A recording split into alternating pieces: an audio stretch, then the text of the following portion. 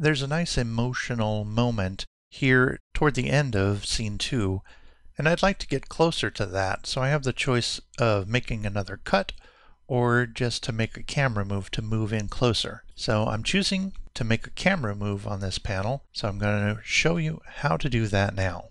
The first thing I like to do is to duplicate the panel with a camera move. To duplicate this panel, I will select the panel, come up to the storyboard toolbar, and click on duplicate selected panels. So now I have the bird has landed. This is the panel where I'm going to put in the camera move. Slide this slider bar over so I can see the panel better. To create a camera move, the first thing you want to do is come over to the toolbar and select the camera tool.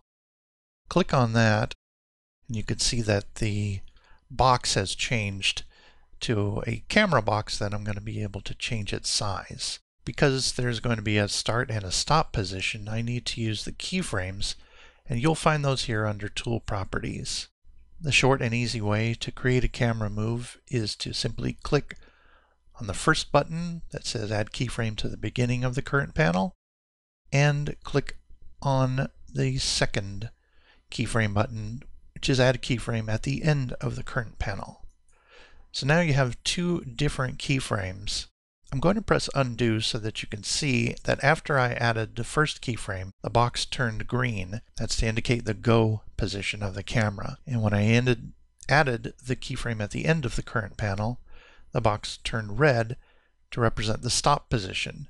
Now right now, the stop position is laying right on top of the start position, so you can't see both boxes at the same time.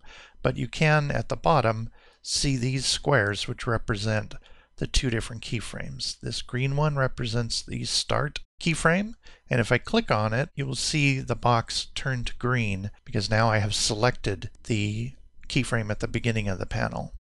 And by clicking on the red, the box turns red to indicate that I've selected the keyframe at the end of the panel. So I want to move the end camera pose because I'm fine with the way it starts out at the beginning, but I want to move it closer at the end. I'd like to sometimes sketch in on a new layer the box where I think I want it to be. And this helps me plan out my camera moves. I will simply delete that later. I'm going to come back to the camera tool. You can see my keyframe indications are still here. And now the only thing I need to do is to move this red camera box and make it match the sketch that I drew. I'm going to turn the opacity down on this to make it clearer to illustrate. To move a camera keyframe, you can hover over the center dot until you get this crosshair icon and click and drag and now you can see that those camera poses have been separated.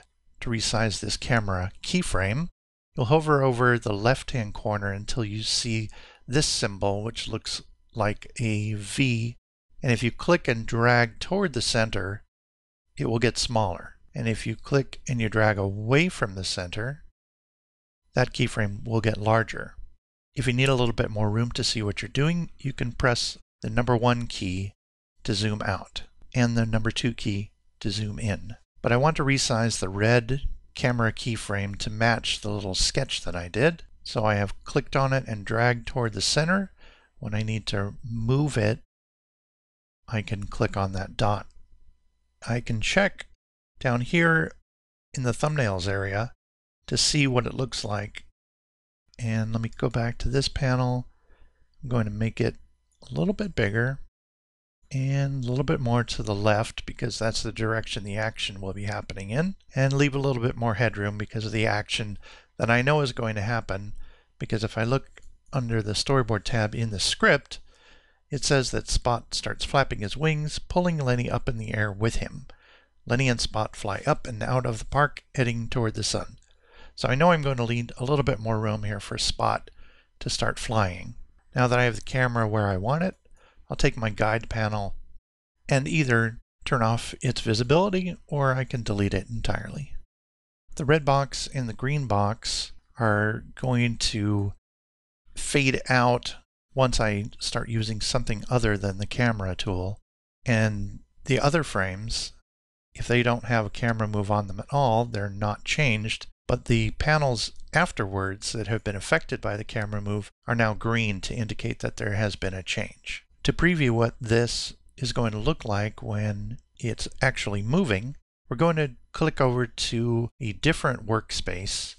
This one is called the timeline workspace.